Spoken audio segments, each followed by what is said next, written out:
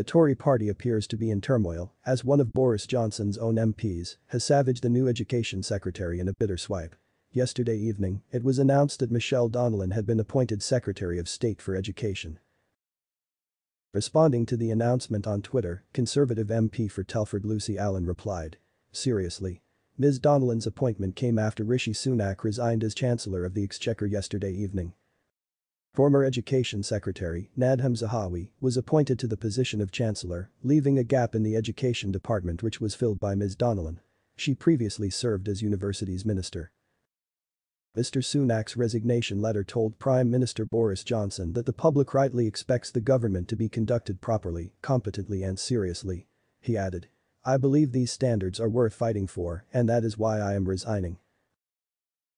The former chancellor warned the prime minister that the UK cannot continue like this. His resignation came just minutes after the resignation of Health Secretary Sajid Javid, who announced he would be stepping down at around 6 pm yesterday. Announcing his decision, Mr. Javid said he could no longer, in good conscience, continue serving in this government. He said Mr. Johnson's tone and values reflect on your colleagues, your party and ultimately the country. Mr. Javid added, it is clear to me that this situation will not change under your leadership and you have therefore lost my confidence too. Several junior ministers, along with Solicitor General Alex Chalk, also quit their posts yesterday. Mr. Javid was replaced by Steve Barclay. Their resignations came amid allegations surrounding Deputy Chief Whip Chris Pincher, with Downing Street confirming that it knew about 2019 allegations of sexual misconduct leveled against Chris Pincher.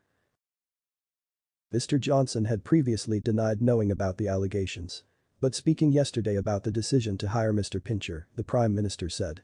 Yes, I think it was a mistake and I apologize for it. In hindsight, it was the wrong thing to do. Mr. Johnson is alleged to have referred to the Tamworth MP as Pincher by name, Pincher by nature. When asked whether or not he made the joke, Mr. Johnson responded.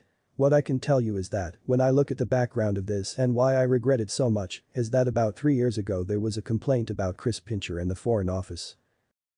He added, the complaint was cleared up, he apologized, it was raised with me, orally I was briefed on what had happened, and, if I had my time again, I would think back on it and recognize that he wasn't going to learn any lesson and he wasn't going to change.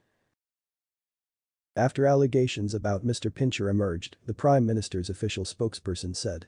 The PM was not aware of any specific allegations. In the absence of any formal complaint, it was not appropriate to stop an appointment on the basis of unsubstantiated allegations. Commenting on the above issue, someone said. This is a fight between Brexit and Remainer MPs, the backstabbers will now declare their hand, but will be defeated. The majority stands with Boris as do the people. Try as they will we will have no Remainer PM. How about you? What do you think about the above issue? Let us know what you think in the comment section and let's talk. If you find the video good, please don't regret one like and share them. Goodbye and see you in the next videos, thank you.